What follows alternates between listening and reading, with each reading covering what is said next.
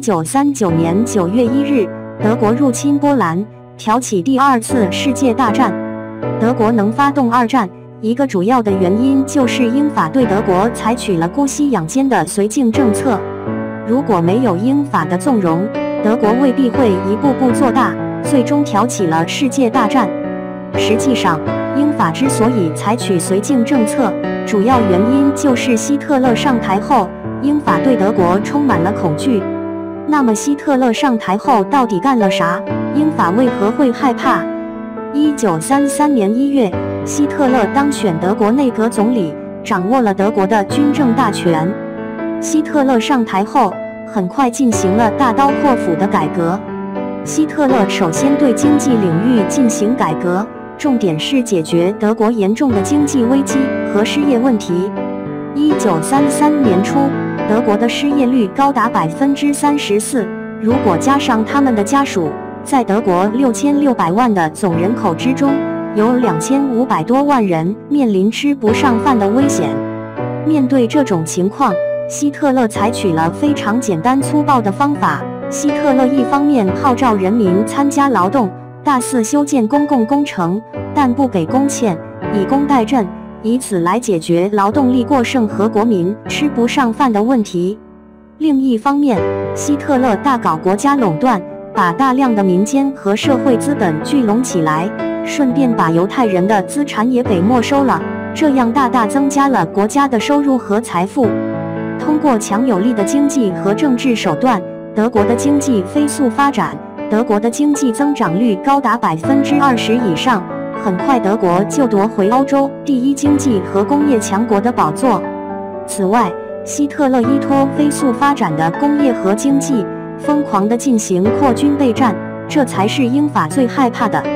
一战后，德国的军事遭到了协约国的严重限制，德国不仅被迫解散了庞大的国防军，而且军备发展受到了严重的限制。德国只能保留一十万国防军和一点五万人的海军，飞机和大吨位舰艇不让发展，坦克也不允许拥有，连机枪和步枪的数量都遭到了严重的限制。但希特勒上台后根本不管这一套，不仅大力发展军备，而且实行义务兵役制，适龄青年通过体检后都得接受训练。为了发展军备，德国疯狂追加投入。一九三八年，德国的军费开支高达六十九亿帝国马克，占到 GDP 的百分之一十七，而英国的军费开支仅占国民生产总值的百分之四，美国更是只有百分之一。一九三三年到一九三九年九月，德国军费开支高达两百四十亿美元，比英法美加起来都多。同时，德国的工业和资源也疯狂向军事领域倾斜。一九三三年至一九三九年，德国军火生产增长一十一点五倍，强大的军事投入自然使得德国军力暴涨。在短短的几年时间里，德国的空军力量就超过了英国，陆军力量也超过法国，成为欧洲军力最强大的国家。凭借强大的经济和军事力量，希特勒的腰杆越来越硬。他不仅收回了萨尔地区，派兵占领了莱茵非军事区，而且拒绝偿还凡尔赛合约的战争赔款，并摆出了一副要和英法一决雌雄的架势，搞得英法紧张不已。英法在一战中被德国打怕了，生怕德国再次挑起世界大战，所以才姑息养奸，对德国采取绥靖政策，让德国一步步做大。就这样。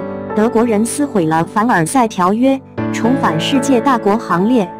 一九三八年三月，德国吞并奥地利，随后又将捷克斯洛伐克的苏台德地区纳入了德国版图。一九三九年，德国吞并了捷克斯洛伐克，野心和实力因此急剧膨胀，这让英法意识到了危险。